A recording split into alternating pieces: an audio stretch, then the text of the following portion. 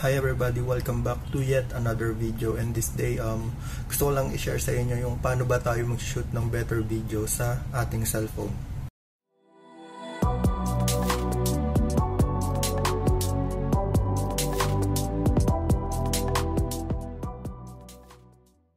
Hi, I'm Billy. And kung first time mo dito sa channel na to or kung bago ka lang, um, I do share photography tips, um, konting videos and konting life talks. And kung gusto mo yung mga bagay na yun, um, please subscribe and hit the notif bell to stay updated para sa mga future videos natin. Dami na nagsisimula ng YouTube channel nila and during this um, pandemic. So, dahil siguro bored or gusto na nilang may matutunang bago. So, um, let me help you kung paano natin uh, magagawang mas better yung mga videos natin.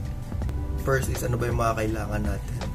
So, you need your, syempre, your camera na may video or mas better if may, may manual control.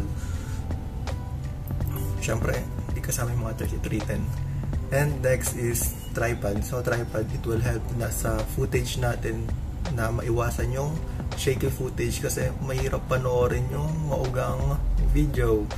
And kahit sino naman siguro ay sang-ayon doon na pag medyo mauga, nakakahilo and parang ang sarap pong panoorin. So next is optional to, um, external mic. Kung may mic kayo, um, mas okay. Kung hindi nyo nakikita yung cellphone mismo, ibig sabihin um, sa cellphone ko kinukunan to. And pag nakikita niya yung cellphone is ginamit ko yung camera. So, ayun. Um, let's start. So, ano yung resolution? Ito yung kayang uh, i-capture ng camera na details natin and naka-capture na yun through um, pixels. So, nakikita natin dito may 1080, 1080p, 4K, 2K.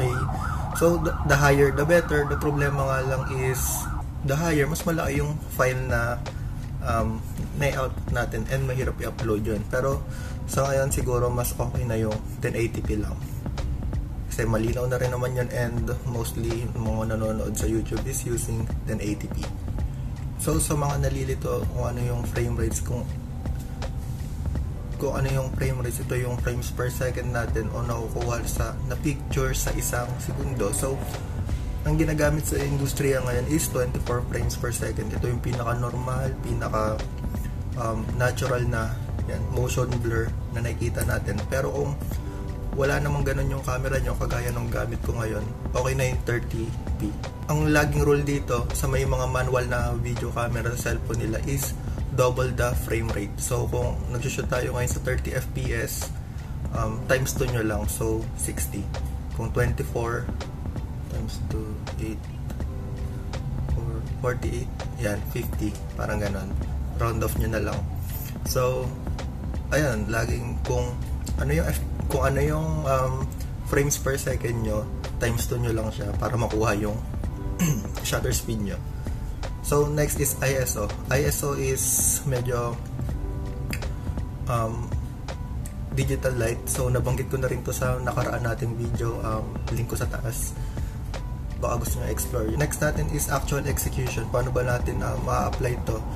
So, dito papasok yung tripod natin and tripod is mahalaga para mas maging stable para hindi shaky yung video natin. And parang pangit kasi panoorin pag magulo yung so, yan yung pinaka setup natin. Tripod cellphone tapos sarili ko. And maging conscious lang tayo kung ano yung background natin. Pero sa ngayon um, medyo nasa masikipang na lugar kaya um, kung ano yung background ko yun na yun. Huwag nyo na pansinin. And um, I hope uh, may natutunan kayo this day and ang suggestion ko sa inyo is keep on shooting and remember, be inspired.